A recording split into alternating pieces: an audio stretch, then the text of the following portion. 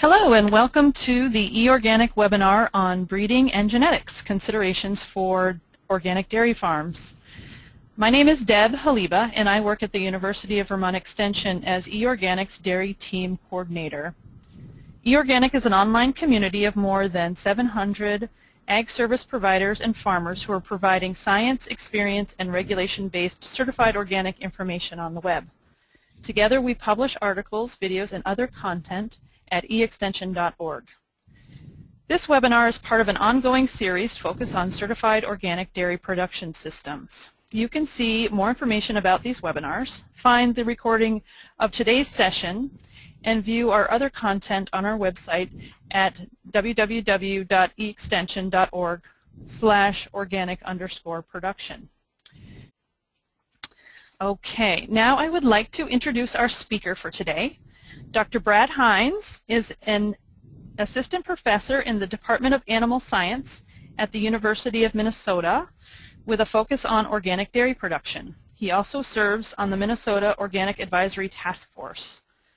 Brad received his PhD at the University of Minnesota where his research focused on the profitability of crossbreeding dairy cattle. Currently, Brad conducts research at the University of Minnesota's West Central Research and Outreach Center in Morris, uh, Minnesota, which has a certified organic herd and a conventional herd.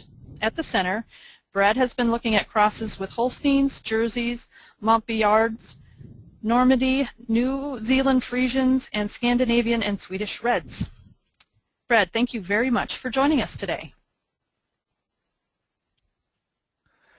Thank you, Deb. Uh, like to thank everybody for coming today and uh, kind of a nice topic to talk about, uh, one that I get excited about, breeding and genetics. Um, I have a real fondness for a lot of the breeds and uh, we're going to talk about some of the crossbreeding work that we've done here at the University of Minnesota and then at the end talk about different breeds and characteristics of those breeds that you might use in a grazing or organic uh, dairy farm. Uh, just a little background, as Deb said, I'm at the West Central Research and Outreach Center in Morris, Minnesota, which is in western part of the state, where we are milking about 225 cows. Um, we've got an organic herd here, been certified for two years, and then a conventional grazing herd alongside of that, where we're using all of these different breeds that we're going to talk about. Uh, just a schematic of our whole research station. Uh, we've got almost 400, uh, over 400 acres of pasture that we can use for uh, grazing all of these cattle, um, and there's animals everywhere, so it's a, a nice uh, research station to be at. However, today we're going to talk about breeding and genetics. Um, a picture here of our uh, herd out on grass. Um, you can see the many different colors that we have and those are characteristics of the many different breeds that we're going to be talking about. Uh, Jersey, Normandy, Holstein, uh, you name it, uh, we've got it here. So one thing um, is that dairy producers want is a cow that um, has longevity. And how do we get longevity? Really, we want something that's easily maturing. Uh, they don't have a lot of problems calving.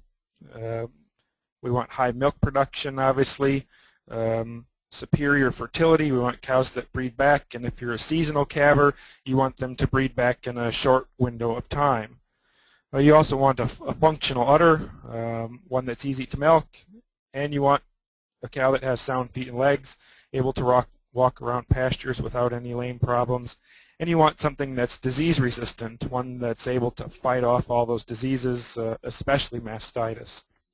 And then if we get all these things, obviously we get uh, longevity and potentially profitability, extended profitability. So first I want to talk a little bit about crossbreeding and why a lot of producers are using crossbreeding. Really crossbreeding in the U.S. started with the grazing dairy producers uh, long before even conventional producers started crossbreeding. I know some producers that have been crossbreeding their herd for 20 to 25 years. And really the big interest uh, first started because of calving difficulty. We know that even in especially pure Holsteins, uh, calving difficulty hinders those first calf heifers. And then you get the big fertility problems that we've seen in, in most environments for Holsteins. We see it even in our uh, grazing herd out here that the fertility of the Holsteins has declined. Health problems are increasing, and we're also seeing more cows dying on farms. Um, some farms are quite low, but there are others that are up in the 12 to 15 percent. And certainly cows are calving less times during their lives. So when we talk about crossbreeding, really from a uh, we talk about two different things. Inbreeding depression, which is from mating cows and bulls that are related, and that's with inbreed. So like the Holstein breed uh, today, there can be some inbreeding depression when there's a lot of um, highly related sires being used on, on cows, and um, we get those problems of decreased fertility, decreased health, and lower survival. However, the opposite of inbreeding depression is heterosis, or what uh, we call hybrid vigor. And it's from mating bulls and cows that are unrelated, um, and usually is expressed for those lowly heritable traits, mortality, fertility, uh, health, and survival. Uh, this is a diagram about what heterosis really is. Uh, heterosis for milk production, you've got two breeds um, and their respective production averages.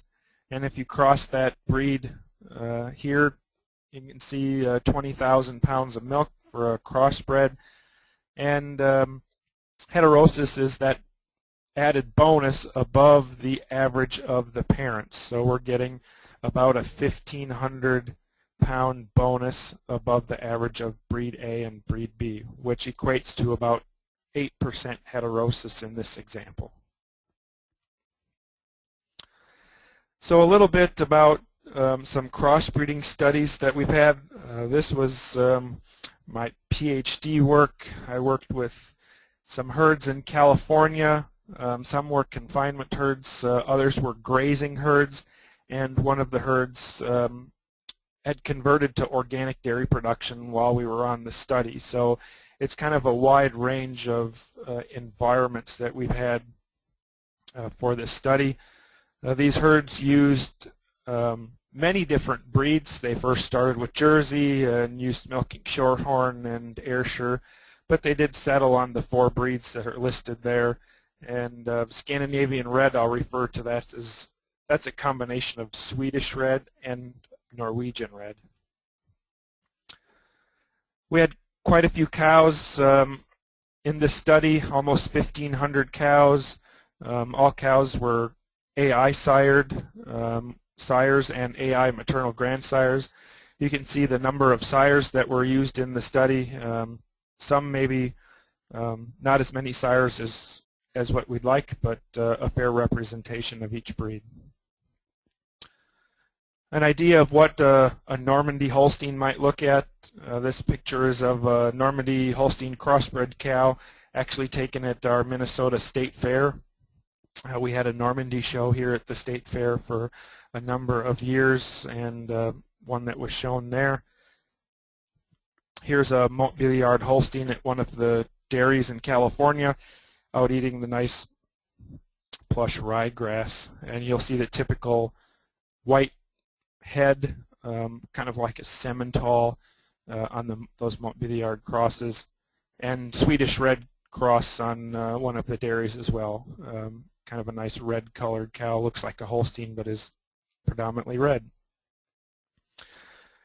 In the beginning, we looked at calving difficulty and stillbirth of uh, these cows. So these were actually Holstein cows bred to either Holstein Montbéliard or Scandinavian Red uh, in first lactation, and um, the Scandinavian Red had the lowest calving difficulty as well as the uh, lowest stillbirth rate when bred to Holstein cows. So using those uh, Swedish and Norwegian red breeds really reduced calving difficulty in stillbirth. Uh, Holsteins were quite high, um, maybe a little bit above national average, but uh, I've seen a lot of farms around this uh, percentages.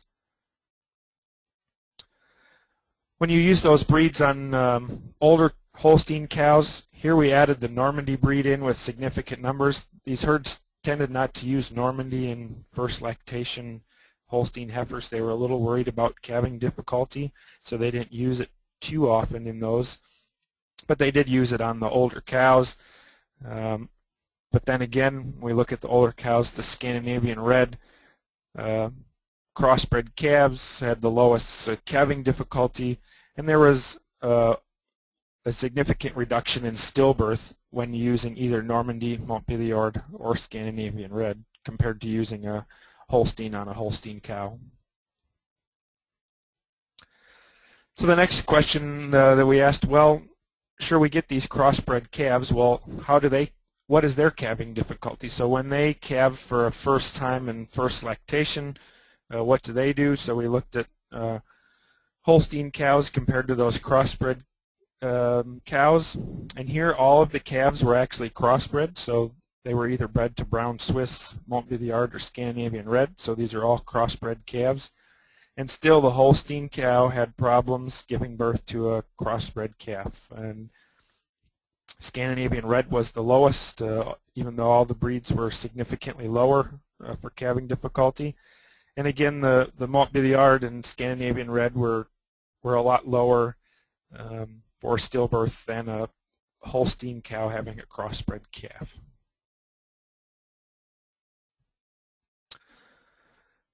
A big thing uh, that um, a lot of producers look at is death rate. Uh, it can be pretty disappointing when you go out to your pen or pasture and see a dead cow or calf.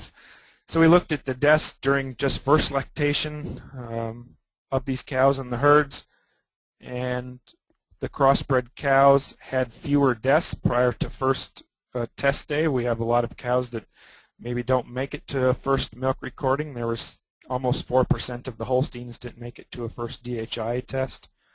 However, when we looked out over across the first 305 days, again, fewer crossbreds died uh, to 305 days than Holsteins. Almost 5%, over 5% of the Holsteins died in the first 305 days.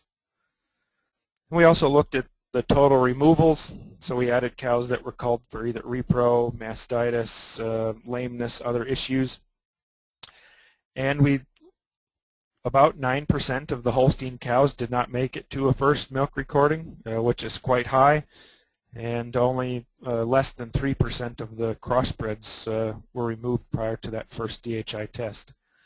However, the big advantage for the crossbreds is out carrying out to 305 days.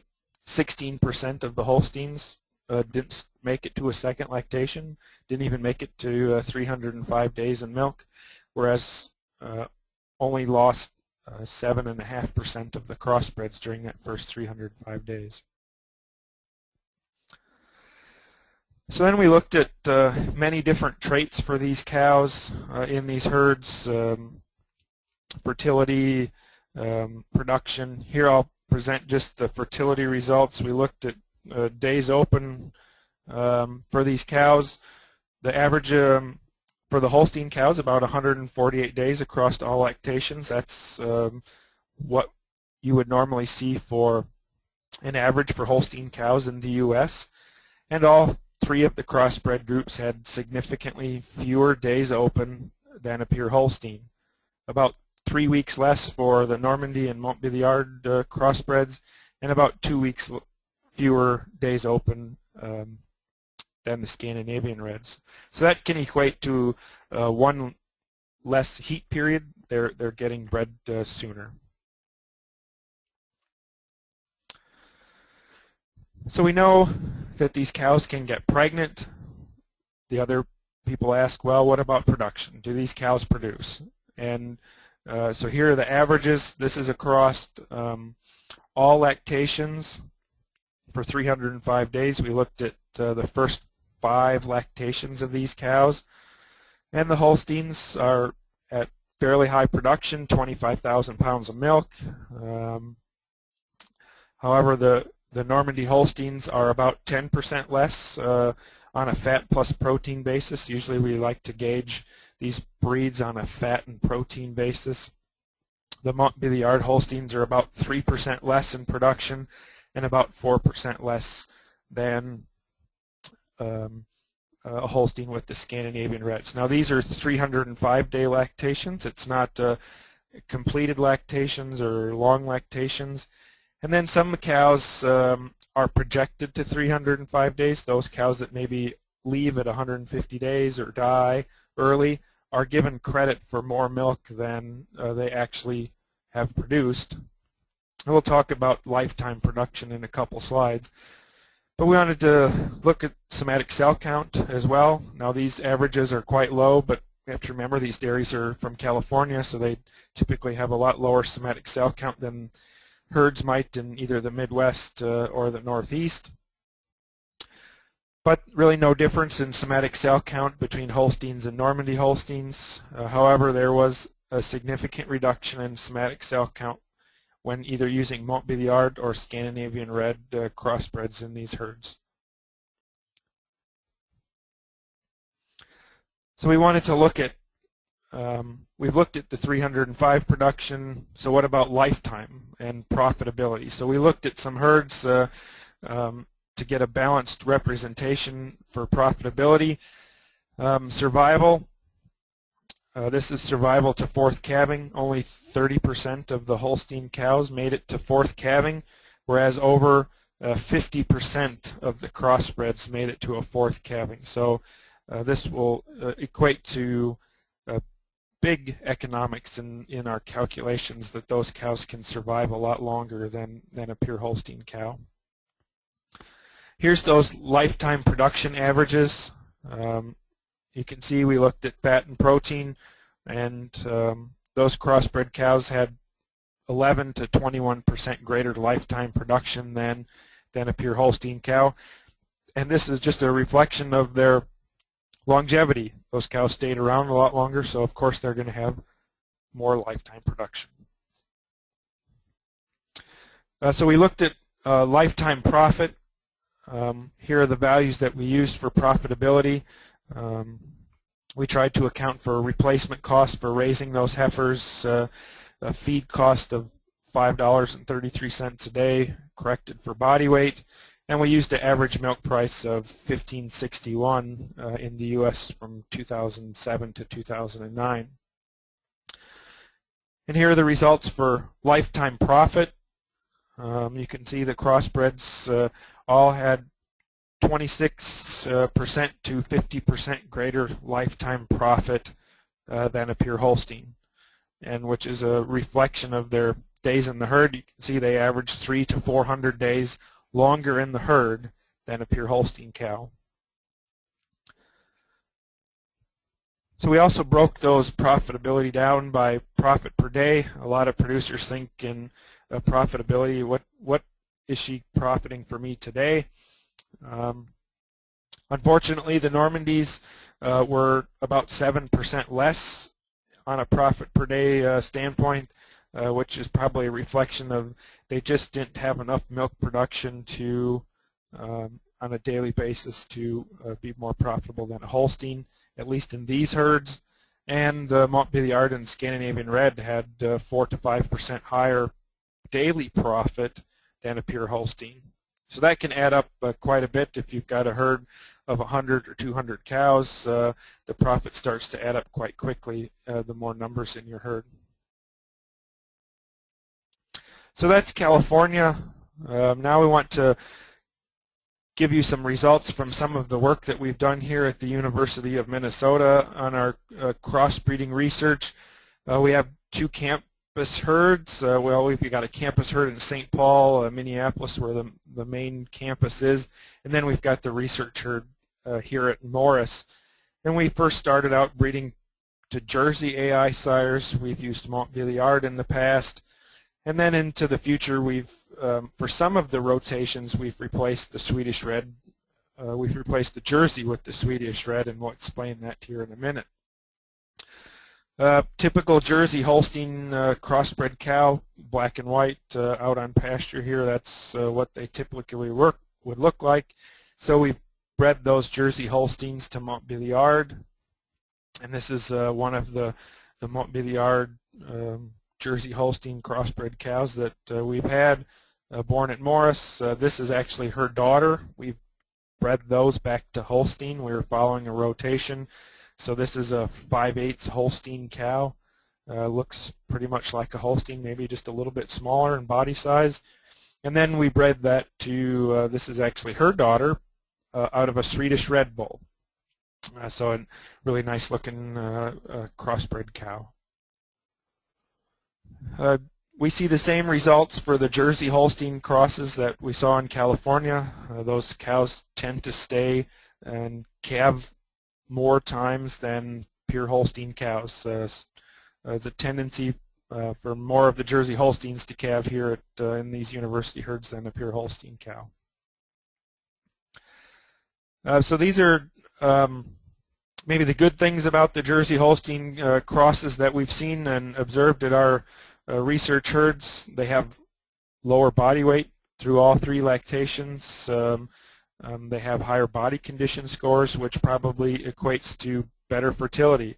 You can see um, the three-week difference in days open in first lactation, and that uh, grows significantly uh, into second and third lactation, where there's uh, 42 days fewer days open for the crossbred pure Holstein cow. Um, and then we've looked at production, somatic cell count, and uh, clearance for these cows. Um, production, maybe they do have uh, they do have significantly lower production uh, in second and third lactation on a fat and protein basis. Uh, so maybe not so good there. Uh, there is a tendency for those Jersey Holstein crosses to have higher somatic cell counts uh, the older they get. So in third lactation, that number um, is higher. And udder clearance was measured from the ground to the bottom of the udder. So um, there is less clearance, so those udders are um, closer to the ground. Um, however, those Jersey Holstein crossbred cows are shorter in stature, but they do have deeper udders um, uh, when we've measured those out. And that is the problem with some of the Jersey Holstein crosses. Their, their udder tends to get a lot deeper as they get older. Uh, just some of our uh, cows, you can see the wide variety on pasture that we have. Um, we've also looked at the Montbéliard Holstein and those three uh, breed crosses here at Morris in our grazing dairy. And this is the first lactation results, really no difference in production for fat and protein and no difference for somatic cell count in first lactation for those cows. And second lactation, we see the, the same results really no difference in production. We're not losing any production by uh, crossing uh, Holstein cows with uh, other breeds. However, in third lactation, you see a difference in production. Those um, Montbéliard Holstein crossbred cows um, do have significantly higher production um, in milk and fat and protein than a pure Holstein cow, about 12% more, and they do have lower somatic cell count than um, a Holstein cow here in, in our grazing dairy. I've also looked at some of the other uh, crossbreeding rotations that we've used here at, at Morris, and uh, you can see the number of cows. I just put up the milk, fat, and protein, and I also looked at uh, mastitis percentage. I wanted to see what sort of clinical mastitis cases these cows have had. Um, the Holsteins, uh, about 18,000 pounds of milk, really no difference. Uh, the fourth breed down is a Holstein uh, Montbéliard Jersey Holstein, so a 5 8 Holstein. Um, no difference in production there. Um, the bottom one, the NZ uh, is a New Zealand Friesian out of a Swedish Red Jersey Holstein. And you can see the production figures there, maybe a little bit less um, fat and protein than a Holstein, but um, more than the, the 5 8 Holstein above it. For mastitis, um, we do have uh, quite a bit of mastitis in our grazing herd. Uh, you can see the percentages. The New Zealand uh, Friesian crossbred does have significantly lower mastitis cases than a purebred Holstein cow, as well as some of the other breed groups uh, that we have. Days open in these cows, uh, really the same thing that we've seen uh, in the, the Jersey crossbreds. Um, around three to four week difference um, um, for fewer days open. We also looked at survival and how these cows survived to fifth calving. Uh, we do have smaller numbers out at fifth calving, not um, um, have all of them have made it to fifth calving yet, but you can see the trend uh, is showing that uh, especially survived to fourth calving. 44% of the Montbéliard Holsteins calved a fourth time, whereas only 16% of our Holsteins did. So really the Holsteins are not staying around in, in um, our university research herds as well, even though we uh, maybe try and keep them around for some studies. Uh, we looked at survival of those cows uh, within three years of, of calving, and it looks like the the crossbred stay three to four, uh, three to five months longer in the herd um, than a pure Holstein. And then we looked at mortality rate as well. Yes, these crossbred cows, sometimes they do die, uh, but we're uh, losing a lot less to death. Only 4% of those cows versus 17% of the Holsteins have died. I also acquired some data from uh, a herd that was looking at uh, Normandy times Jersey crossbreeding. Um, they had purebred Jersey herds and they wanted to, to crossbreed those as well. Uh, so they used Normandy on those breeds. And here are the results. All, although they're small numbers, uh, you can see that the Normandy Jersey um, crossbred cows had higher milk production than a pure Jersey cow. There was no difference in, in really fat or protein uh, for those cows, but kind of a tendency for them to have a, a higher milk production uh, than a purebred Jersey cow when you're breeding those to Normandy. So there maybe is some benefits to using Normandy and uh, Jersey within a rotation, and I'll talk a little bit more about that in the future about what we're doing here um, at in our organic dairy. I've had um, uh, people interested in I've talked to some producers that are really interested in using Fleckvieh um, uh, from Austria uh, and the Alps uh, region. Um, I've been to some farms. I was actually in a farm in Germany last year that uh, um, a biodynamic farm that was actually using Fleckvieh.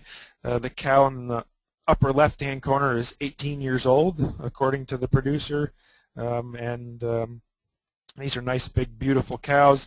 There's been some um, showing of these cows at World Dairy Expo in Madison, Wisconsin, where they've had a display of different uh, crossbred cows out of Fleckvieh. Uh, this is one of the cows that was shown uh, at World Dairy Expo um, in in the trade booth uh, in the grazing pavilion that we've had there, um, showing off that breed as well. There hasn't been a lot of research done with the Fleckvieh, at least in the U.S., um, as far as scientific results uh, showing the advantages of Fleckvieh, if there are any. Um, we've there are some results here um, that I presented that was research done in Holland, and these are first lactation results from uh, pure Holsteins compared to the Fleckvieh Holstein.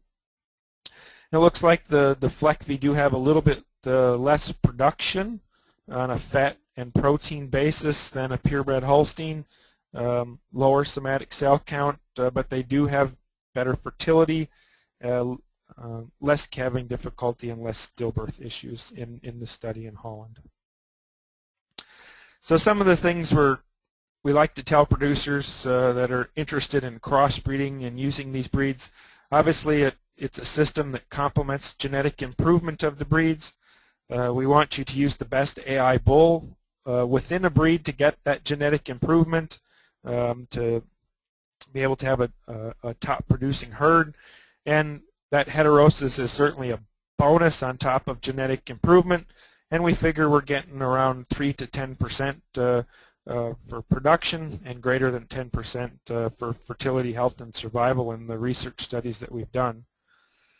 Uh, one thing we, we certainly recommend is using three breeds. Uh, if you're going to crossbreed, uh, two breeds certainly limits the amount of heterosis, um, and four breeds kind of limits the influence of, of specific breeds in your crossbreeding rotation. Therefore, we kind of uh, we, we like to use three breeds in, in our herds as well. Uh, this is the U.S. cow population for cows and DHI herds. Uh, you can see the number of mixed breed herds is on the increase. Uh, in 2009, almost 7% of the cows in the U.S. on DHI were, were mixed breeds and crossbreds, about 5% Jerseys and 87% Holstein. So let's talk a little bit about um, some breed characteristics uh, that you might use uh, for herds in your organic dairy and, and what some of the advantages and, and disadvantages of our using those breeds. Uh, the brown breeds, certainly Jersey uh, brown Swiss uh, that a lot of producers use. For Jersey, there's many good things, uh, outstanding calving ease. The calves almost fall out. Uh, they have increased solids content of milk, high fat and protein. Uh, they probably have lower maintenance costs. They're maybe more efficient on grass. And there's an increased frequency of the black hooves, which certainly can help in reducing lameness uh, when those cows are on pasture. However, they do have some negatives. Um, the udders may become too mature, um, too deep as those cows get older. Um, the bull calves are almost um, worth nothing. Uh, that can be a problem as well. And you can see an increased somatic cell count uh, in the milk, and that's what we've seen by using those the breed in, in our herd. Brown Swiss. Uh, a lot of people uh, talk about Brown Swiss. They're very high production. They have uh, high fat and protein. If you look at the the averages um, for U.S. cows, the brown Swiss is probably the highest crossbred for production on a fat and protein basis. They have really good feet and legs uh, and low somatic cell count in milk. However, you see an increase in body size. Maybe for some producers, a brown Swiss might be too big. Uh, you've got uh, maybe uh, a brown Swiss calf problem, increased calf mortality, and, and some cows uh, demand nipple feeding, maybe not like drinking from a bucket or or anything like that, so the calves can be maybe a little more challenging to raise than what you'd like. We talk about uh, the red breeds, um, Norwegian red, Swedish red, and Finnish Ayrshire, kind of that uh, Scandinavian cluster of breeds. Um, Swedish red and Finnish Ayrshire now are uh, what uh, people would call a Viking red, and you can see the number of cows um, in those countries. So really not um, small breeds by any uh, standpoint. Really a good number of cows of all these breeds. So what are some of the characteristics that we like to see for the, the Viking Red, what you, you might expect? They're about medium-sized cows, around 1,250 pounds at maturity. Uh, they do have high levels of milk and protein. Uh, from our research studies, we showed that they do have similar milk production to a Holstein cow. They have excellent fertility, and they can produce a calf. They get bred right away. Uh, calving ease, we've shown that uh, those calves have uh, a lot less calving ease, as well as when um, a Viking Red crossbred cow calves, she has less calving difficulty and stillbirth problems. They do have uh, lower somatic cell count. They've tended to select for mastitis resistance and lower somatic cell count for those cows in Sweden and, and uh, uh, Scandinavia. They have long productive life. Or if you, you use a Norwegian red, they do have some uh, Swedish Friesian blood in there, which might uh, get some black animals. If people get some black animals, uh, they're expecting red. Uh, it might be because of some of the free, Swedish Friesian in that breed, um, which may reduce heterosis, but that uh, those genetics are um, many generations back in the pedigree. And we also talk about the the Alps breeds. Um, in the, the Swiss Alps, the French Alps, uh, Montbéliard, uh, about 400,000 cows on France. Uh, this is really a dairy breed. It's selected for milk production and cheese production on grass, uh, so it's typically not, not a dual-purpose breed at all. The Normandy, about 280,000 cows, the third largest breed in France, uh, up on the northern coast. Obviously, the, the beaches of Normandy, there's many uh, Normandy cows up in that area. And again, not a dual purpose breed. Uh, there is some value added production that you get out of these cows once you cull them. you retain probably higher value, but they are selected for milk production uh, and uh, cheese production, and they're probably well suited for low input systems and, and grazing systems. And then you have the Fleckvieh or Simmental breeds. Uh, there's large numbers of these cows in Austria, Germany, uh, Switzerland, uh, Italy. And they are more of a dual purpose breed. There's more of an emphasis placed on beef characteristics in a Fleckvieh type breed uh, than than the Montbéliard or, or, Normandy breeds. Again, this is uh, what typical cows would look like. Purebred cows, uh, Montbéliard, about 400,000 cows in France, 265,000 Normandy cows. Uh, they are typically a brindled colored type cow, a brown cow. And the Fleckvieh is very similar looking to uh, Montbéliard and quite a few numbers of cows there. So the Montbéliard characteristics, uh, similar characteristics to the Fleckvieh. They have high levels of milk and protein production. Uh, I showed results earlier that uh, they do have higher levels than a pure Holstein when they're out on grass, right from our, uh, our Morris dairy here. They have excellent fertility. Uh, they get bred back uh, a lot quicker than, than a Holstein. Calving is really not a, not a big problem of those cows. You maybe have some um, bigger calves out of Holstein cows, older ones, but really there shouldn't be too many issues with calving difficulty by using a, a Montbéliard uh, uh, for crossbreeding. Really, they have high health, uh, few transition problems, uh, low somatic cell count, resistance to mastitis. They have long productive life, and there's some excellent beef characteristics. Once uh, they get to the end of their productive life and they need to go to market, uh, you can get high beef prices uh, for these um, for these crossbreds uh, uh, animals with Montbéliard or Fleckvieh. I've had some producers talk to me and, and they're using Montbéliard because they can get uh, good beef characteristics and some are raising grass beef, dairy steers with Montbéliard and they think they can get a higher price with those. So here's a typical Montbéliard uh, purebred cow. Uh, I was in France, uh, took this picture. You can see they do carry more condition on them, uh, but again, really good udder, uh, good feet and legs uh, on those cows, and, and some of them still do use bells um, in, in those herds. So what about the Normandy? Normandy has high protein content uh, in the milk. Uh, they do have a higher proportion of uh, BB kappa casein. Um, a lot of um, we're selecting bulls here. Uh, we're using Normandy in our crossbreeding rotation in our uh, organic dairy here, and I'm uh, putting some consideration on BB kappa casein in the milk. They have exceptional fertility, really high fertile cows. they don't have many calving problems. They're very docile.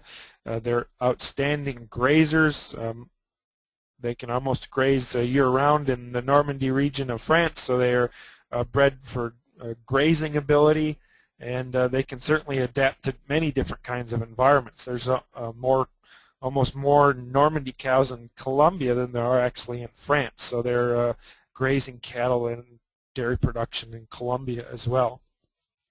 And just like the Montbéliard, there's enhanced value of cull cows, bulls, and calves uh, when they're end of their productive life. Uh, here's what a typical um, purebred Normandy might look like from a, a dairy in, in France. Um, we've uh, got good feet and legs, uh, good uddered cow, um, and you've got that brindled color as well that uh, signifies uh, the Normandy breed. I do get uh, a lot of questions about uh, producers call me about uh, using New Zealand Friesian genetics, um, and we've used New Zealand Friesian in our our organic dairy here as well. Uh, however, there are some characteristics. They're certainly medium-sized cows, which is a, a, a, very good positive about the New Zealand Friesian. Uh, they are smaller cows. They're more fertile than than U.S. Holsteins. Um, however, they do maybe have less milk volume um, than than some of the other breed combinations that that you might use. Um, they are maybe used on a different environment in New Zealand. Uh, there's not much concentrate is rarely fed in New Zealand, and they do feed a low amount of hay and silage compared to the U.S., um, so they don't supplement their cows like many grazing producers do here in the U.S. So maybe it's um, maybe they don't respond well with uh, supplementation strategies. Um, and the graph shows there is a fairly high percentage of North American Holstein present in the New Zealand Friesian. Um, about 40% of the genes in a New Zealand Friesian are U.S. Holsteins as well. And one thing I guess we just need more research on uh, using New Zealand Friesian genetics under U.S. management situations. I know there's uh, producers in, in Missouri, grazing producers that uh, um, use a lot of New Zealand Friesian as well. Uh, so there are uh, places that are using it. We just need more research uh, that shows whether these cows are, are able to adapt to grazing situations here in the U.S. Uh, went out and snapped this picture is basically what a typical maybe New Zealand Friesian crossbred would look like. This one's out of a Norwegian Red Jersey Holstein uh, in our herd. And you can see a nice medium-sized cow, uh, pretty much black and white cow, uh, will look like a Holstein and and does uh, um, and and you can see some of the advantages that I showed uh, before in, in mastitis resistance at our dairy. I get some questions about uh, using polled genetics. Uh, there's obviously a growing interest in using polled genetics uh, with from an animal welfare standpoint and and dehorning calves uh, when they're quite young. Uh, so a lot of people are are asking about polled genetics and where they can find polled genetics. Obviously, all breeds have some polled genetics, uh, which are, are naturally hornless. Um, the gene for um, polled is a single dominant gene, and uh, horn is recessive. Um, so really, horned cattle, it's a it's a recessive gene, even though uh, some people, a lot of people might not think that horns are recessive. Uh, the Norwegian red breed does have a very high percentage of polled genes. Uh, uh, the Jersey breed in the U.S. Is also got some high percentage of uh, polled genes. And about 60% of the calves in Norway are actually polled uh, when they're born. So really, uh, they've put some emphasis on uh, polled genetics more so in Norway than they have in a lot other parts of the world um, in trying to reduce their uh, their horn genes. So this is just a diagram on, on how you can get um, polled genetics if you're looking to use uh, genetics in your herd and, and how you might get polled genetics. That's really quite easy. It, uh, um, it doesn't take very long to start getting polled genetics in your herds once you're using bulls that are actually polled. Uh, um, so you, you know, kind of follow this diagram if you are selecting bulls and want to place a little more emphasis on on the polled, you certainly can can do that and change your herd um, um, to, to polled. So these uh, last few slides that I have uh, here are just a little uh, diagrams about what we're using at uh, the University of Minnesota in terms of breeds and, and what we're trying to achieve. And uh, this is a kind of a new three-breed crossbred rotation that we're using here in our dairy.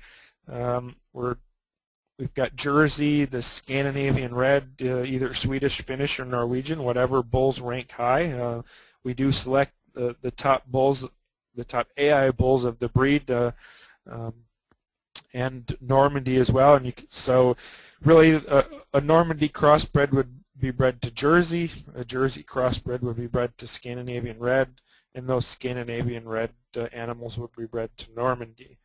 And really we're trying to develop a, a cow uh, without Holstein in it that is efficient on grass and maybe doesn't need as much uh, supplementation. We all know that uh, organic grain prices are quite high, uh, 14 to I've heard $16 here in the Midwest for corn, uh, which is is quite high. So can we develop a, a cow that doesn't need as much grain or need any grain um, um, and can be fairly efficient and have high production and good fertility.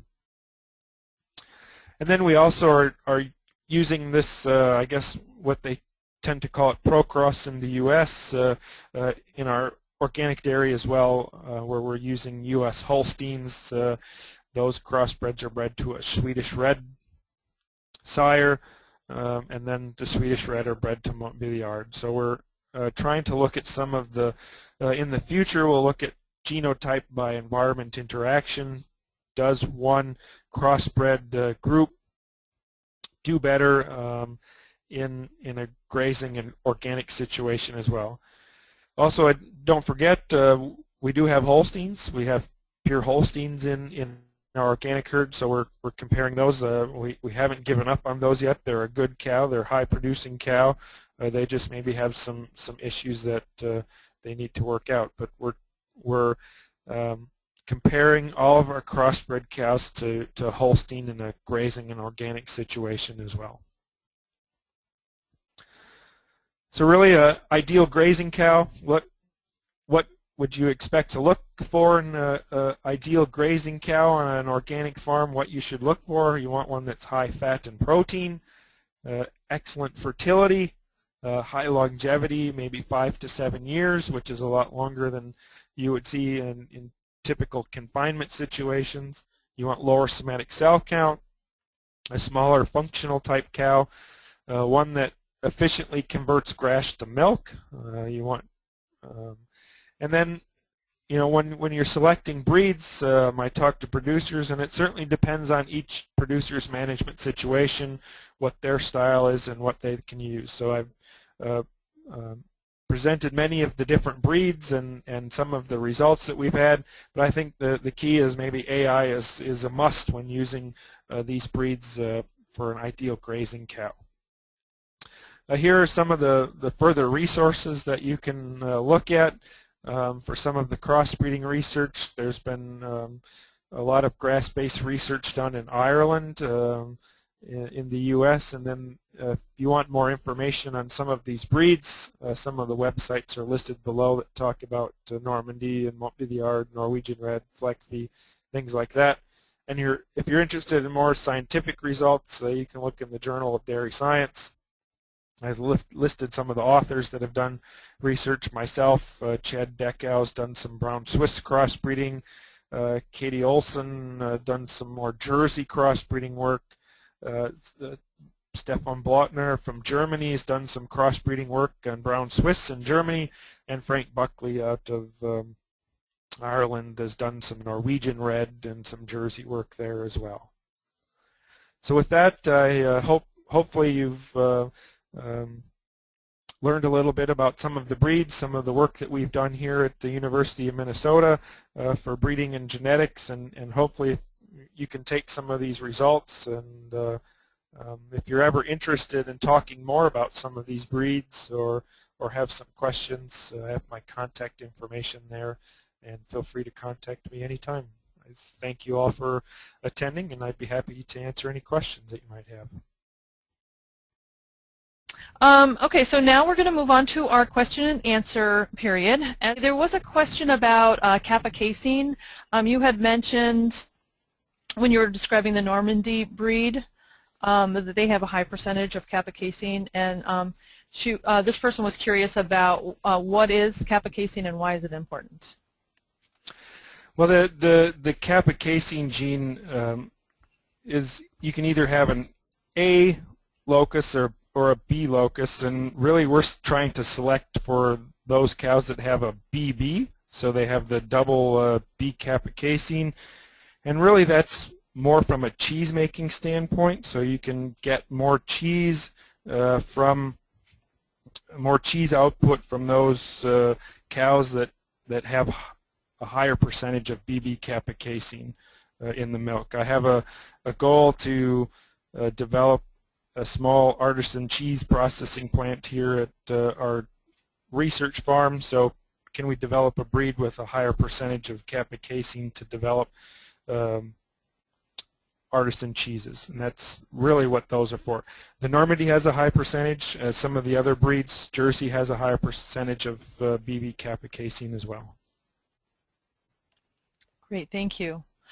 Um, and this person asks, how can you tell whether a polled sire is true, uh, PP versus pH, from the typical sire proof in a sire, mag a sire catalog?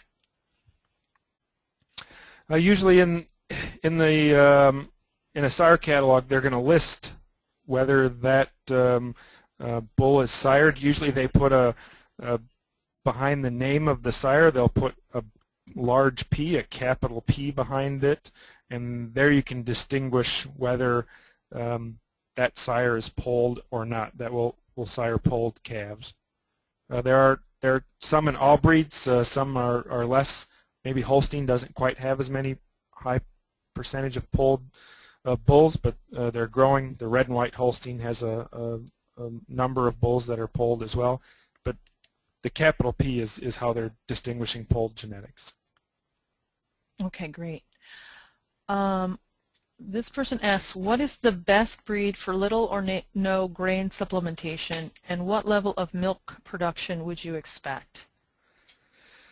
Uh, well, the, that's a great question. Uh, there's um, many. I think you can use many different breeds uh, for uh, no grain supplementation. Like I've shown before, um, we're trying to develop a breed maybe here uh, with Normandy, Jersey, and Swedish Red that you can use uh, for no grain supplementations. We think they will do very well at converting grass to milk. Um, again, the New Zealand Friesian has um, doesn't use as much supplementation in New Zealand, so that might be a good option for using um, if you're not supplementing uh, any grain in your herd. Um, what level of milk production? I've got a research study going on here actually where we're um, comparing supplementation of organic animals. I've got some cows that are being supplemented versus some cows where they're getting grass only. And so far we haven't seen any loss of production. We're getting about 42 pounds um, out of those cows. Um, granted, this is during a great growing season uh, on pasture. Maybe in August when pastures start to dry up, we might lose some production uh, there. But so far, um, we haven't lost any production by not supplementing. And we have, you know, a variety of crossbreds, mostly Jersey uh, and some Normandy and Swedish Red in our herd. Great. Um, and uh, why is AI a must?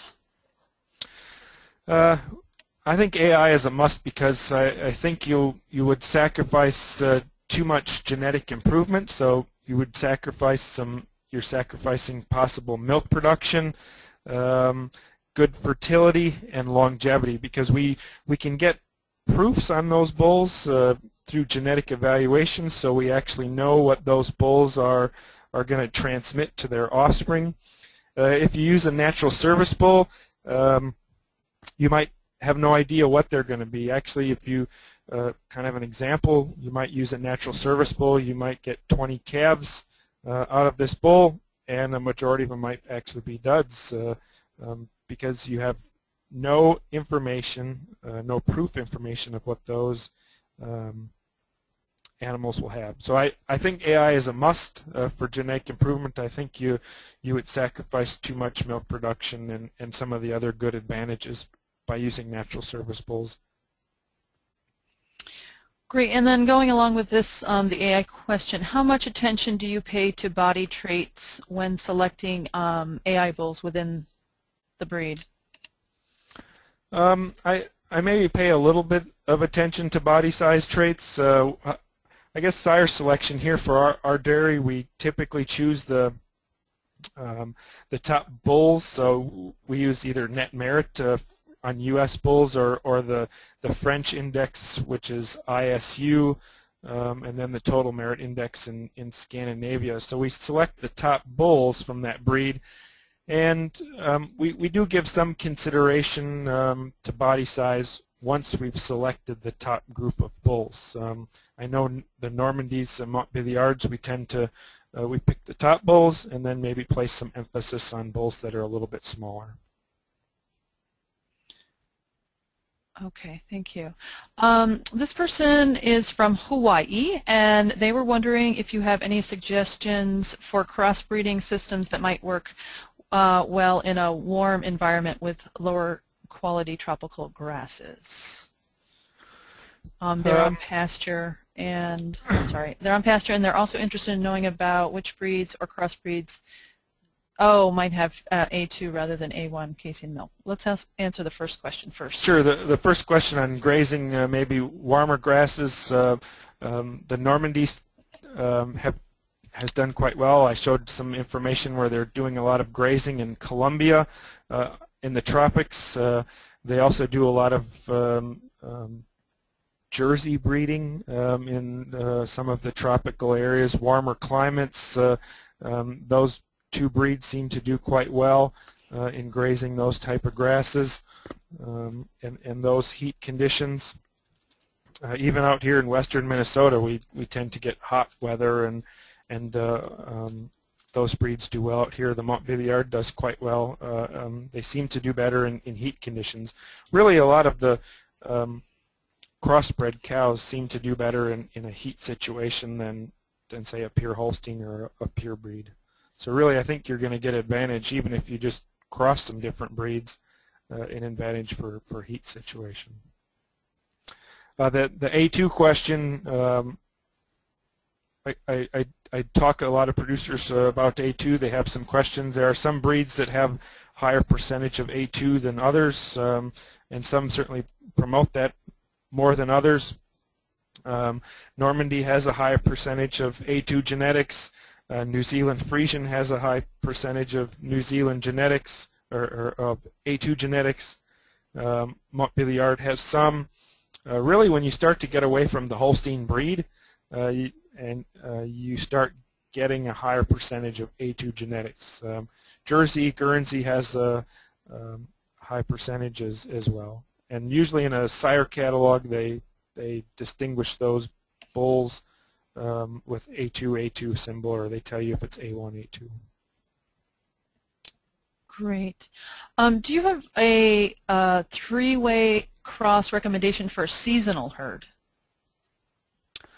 A seasonal herd? Um, I, I think uh, the, the, the one group that we're trying to establish probably has some pretty good merit. Uh, Normandy, Jersey, uh, Scandinavian Red.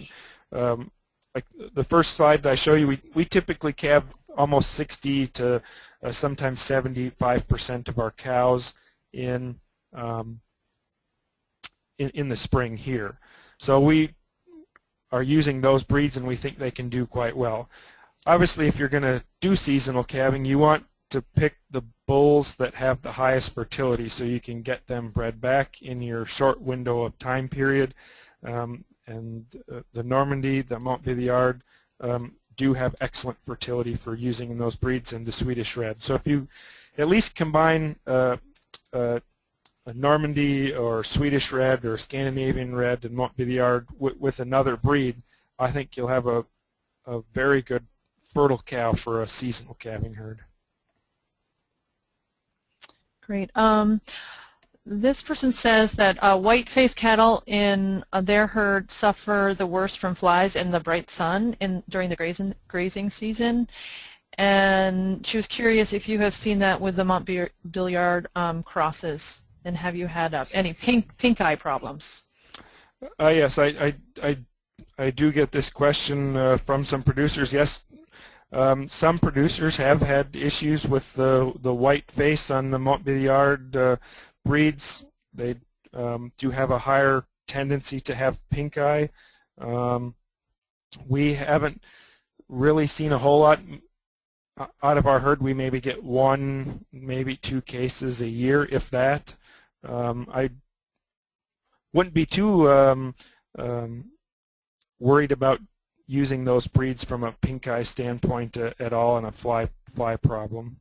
Um, I just haven't seen. I've gone to a lot of other herds and uh, with these breeds, and they just don't seem to have the, the, the problem that maybe you have expected that they would. Yes, there there could be some, but um, I, I think a, a few um, is is probably not too much to be concerned about. Okay. Um, this person is wondering if you could briefly discuss the value of the less popular dairy breeds such as Ayrshire, um, Guernseys, Milking Shorthorns, and Dutch um, Belts for use in pasture dairy systems? Sure. Um, let's see. Guernsey, um, it does have advantages uh, compared to Jersey. They have high fat and protein in the milk. Um, one maybe disadvantage of the Guernsey is is possibly they don't have quite as good a feet and legs from a grazing standpoint, so they might be more apt to be lame than a, um, other breeds they're used, but you would get high fat and protein. Maybe the fertility isn't quite as good um, from a Guernsey uh, or Guernsey crossbred. Ayrshire, um, Ayrshire would do quite well. They are related to the the the red breeds, excuse me, the the Swedish Scandinavian red breeds. So the Ayrshire does have lower somatic cell count. Um, I would tend to use uh, the the more uh, well the the Scandinavian red breeds do have some Ayrshire ancestry, um, but I would tend to use the the Scandinavian red breeds over a, say a U.S. Ayrshire. Uh, the U.S. Ayrshire is tended to be um, maybe more for showing type breeds uh, than than than uh, some of the other breeds um, as well. But they do have low somatic cell count uh, and uh, good production as well, and, and, really good feet and legs. Um, Dutch belted and, and some of the other uh, smaller breeds, uh, milking shorthorn, tend to not maybe have as much uh, genetic progress or genetic evaluations for those breeds. I know some people are using Dutch belted on their dairies here in Minnesota, and and I we just don't have enough information uh, from using those breeds. Uh, there's not really a genetic improvement program uh, for those breeds, so it's really hard to get good data on whether those breeds are going to produce or not. But in the end, I think uh, if for your situation, if it works uh, and you can get those cows pregnant and they have high production and uh, are profitable, I think they would they would work depending on the, each manager's situation.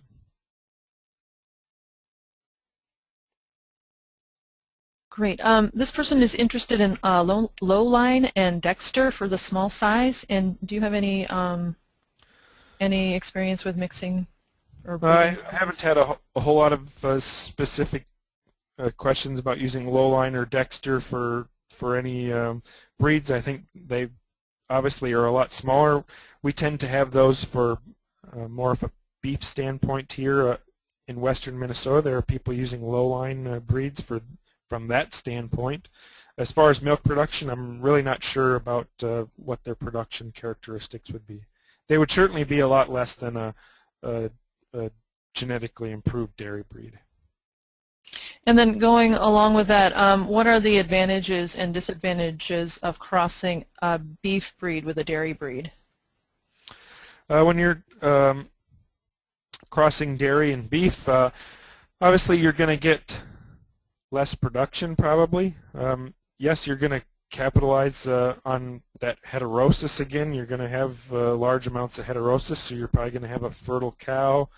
Um, it just depends on what breeds that you would use in a crossing situation, uh, what beef breeds you would use.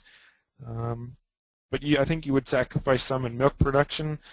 A lot of, um, if you go to Europe, where some of these the yard herds uh, were, I've been there, and they're using some uh, beef breeds, uh, Charolais or Limousin, in the bottom 20% of their cows, so they're actually getting um, some beef crosses, but they're using those from a value-added standpoint to to get additional income from beef production versus using those as milk cows. So they're feeding out the heifers and the bulls uh, from using a beef dairy cross. So you could use it if it just depends on um, what what your goal is. But you would sacrifice milk production if that's what you're trying to do. Great. Um, and this person is asking about um, similar research with uh, caprine herds. So do you know about, are you doing anything with goats or know of folks um, that are doing any I work? I haven't really done anything with goats as far as um, different crossing breeds or anything like that. Most of the um, I, goat herd stuff that I've and producers I've talked to are typically using pure breeds. So I'm I'm sorry I don't have any really information on crossbreeding of goats. But I would suspect that the okay. um, oh. they, they, are ruminants, so that um, the information would be very similar. I would guess, uh, depending on the certain characteristics of each of the breeds you're using, you're still going to have heterosis for fertility, uh, survival, things like that. Um, using those breeds. Okay, this person asks, um, any advantage in using a crossbred AI bull? Um, yes, you, some people do use crossbred uh, AI bulls. Um, the, the problem with using a crossbred uh, AI bull is some of them don't have uh, genetic evaluations. We're starting to get some of those. Uh, um, evaluation. So if, if they did have a genetic evaluation where you could get a say a, a, net merit index on those bulls and are able to compare that to other bulls, I think it would be a value to if you had a high crossbred bull. Yeah, you could certainly use that. Um, a lot of people, I would caution on using crossbred bulls. They think that, uh, as an example, I've got a Jersey Holstein crossbred bull. I'm going to breed it to some cows, and I'm going to expect to get a Jersey Holstein crossbred. Well, that's uh, not not always the case. You might have some that are, say, more Holstein uh, with more Holstein genetics in it, some with more Jersey genetics in it. Um, in New Zealand, they are uh, using uh, crossbred bulls um, for in AI as sires, but they're getting uh, genetic evaluations on those bulls, and, and some of those bulls do rank higher than some of their pure breeds. Uh, kind of the, the Kiwi cross is what they call it. Um, so, yeah, if if you're going to use a crossbred bull, I would certainly want to have a um, some genetic information on that bull so you're able to compare it to other bulls. Okay. Um, this person is interested in the Swedish Frisian. Um, they say um, if the Swedish Frisian influences many generations back in Norwegian red pedigrees, how is it that the um, Norwegian red has a large dose of Swedish Frisian influence in current sires? Well, it, it, it just depends on the sire that was using. They um, some it's further back than others uh, in their pedigree, uh, but if you look at um, um, generations of pedigrees, there is uh, is a high percentage, only about 30%, so it's not as high. You know, there's still a lot of uh, different genetics in that Norwegian red breed, but there are some bulls that you might have to be careful. If you look in the sire catalog for Norwegian red, some of the bulls are black. Uh, they're not red at all, so they're going to throw black calves um, more than likely, and uh, so some people could get um, if they're choosing to want red cattle and they use a black Norwegian red bull, uh, they might be disappointed, and that's it's mostly from a color standpoint. Um, um, when when that Swedish red or Swedish Friesian influence is in there.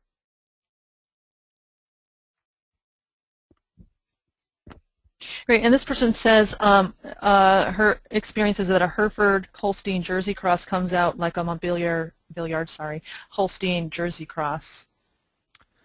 Uh, yes, I would expect that too. You've you've got similar um, similar ancestry. The the Hereford has got the white face just like a a Montbéliarde does, and I would guess that they will come out very similar um, uh, very similar in, in, in characteristics uh, and color patterns. You might have a lot lower production because the Hereford is more of a beef breed, but uh, yeah, I would guess they would look exactly the same. Great, and that will be our last uh, question and comment for today because we're just about out of time. Um, I'd like to thank all of you for taking the time to ask Brad questions. And as I mentioned before, uh, this webinar is part of an ongoing series at eOrganic. Um, as a sneak preview, our January, or excuse me, not January, July webinar um, will um, feature Dr. Hue Karreman, who will talk about herd health issues. Um, Until then, you can find an archive of today's session, uh, recordings of all of our uh, previous webinars, as well as articles, videos, and more at eXtension.org um, slash organic underscore production. Um, thank you very much, Brad, for joining us today, and thank you all for coming.